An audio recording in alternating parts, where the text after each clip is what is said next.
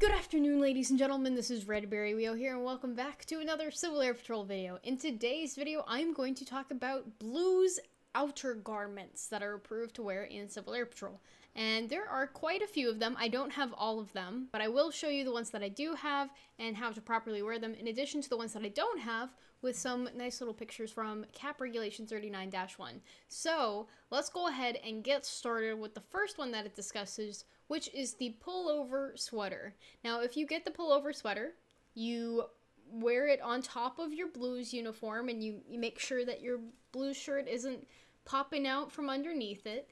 And if you have NCO grade, you wear it on your collar. And you can choose to wear your tie tab or tie because it is optional. You don't have to, but it is something that you can do. You are not allowed to roll the sleeves up though. Okay, so you either wear it or you take it off. There is no in between. But a nice one that does have an in between is the next one that's listed, which is the cardigan. I've never personally worn this in public, but I do have one, and it's it's kind of funky. And I also think this one's a little big on me. Yeah, it's a, it's a little big on me. But how you do it so so just like the sweater i didn't mention officer grade officer grade you wear it on the shoulders like this so it, it goes the same way for both the sweater and for the cardigan. And there, there are some awesome pictures in 39-1 that show this as well. If you want to, you can wear a tie tab or a tie. It is optional. When you are outdoors and you're wearing it, you are required to keep it buttoned up entirely. But if you are indoors, you may unbutton it. And if you are wearing it buttoned, all buttons always must be done. And if you're wearing it unbuttoned, then all un- buttons must be undone. And that, remember, that's indoors. You aren't supposed to have it unbuttoned outdoors. And so this this is a sort of like an in between between the pullover sweater and, um, well, like a blues jacket.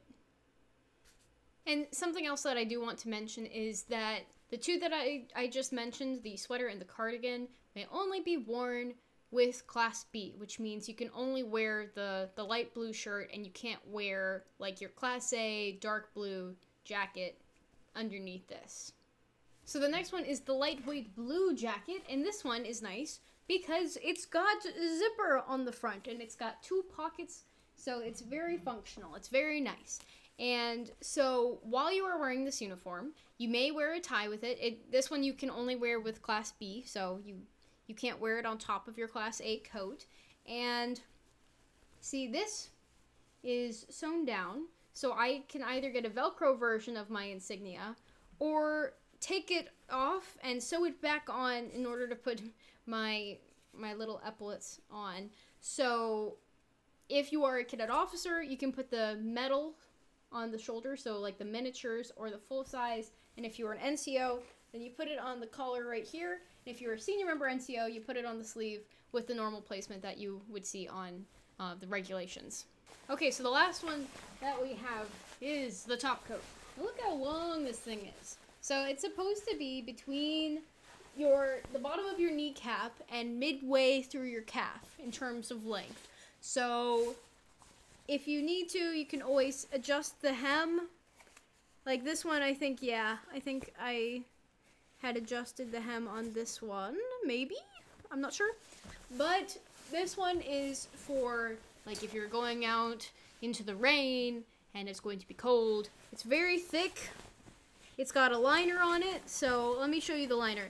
Also, the lightweight jacket can have a liner, but so there's a zipper here on the inside, and so you can see like the top part has a liner, kind of like a, a weird jacket thing that keeps it a little bit more insulated in the winter months when you are wearing your blues. So it's, it's a very nice thing that you can wear when you need to be outside for a long period of time during the, the cold winter months. So another note I want to make about the top coat here is that you can wear it with mess dress, the U.S. Air Force service dress, or service uniforms. So it's a very versatile uniform piece. And if you're an NCO, cadet NCO, you wear the grade on the collar here. And if you're a cadet officer, you wear the normal or the miniature metal insignia on the coat epaulets. So I I've used this a few times. You can also wear this on top of your pullover or sweater. So it's good for layers. I had been asked in a comment, when do you wear a tie with your blues uniform? So I will explain. If you ever do the top button on your collar, like for your blues shirt, you wear a tie tab or a necktie. So if you are wearing your Class A's, you have to have a tie tab or a necktie, and thus you would do the top button and wear it. And if you are wearing a long sleeve shirt, then you are required to wear a tie or a tie tab. If you are wearing short sleeves, like your Class B short sleeves, you can choose to wear your tie or tie tab, but it's not necessarily required. It's just an optional thing.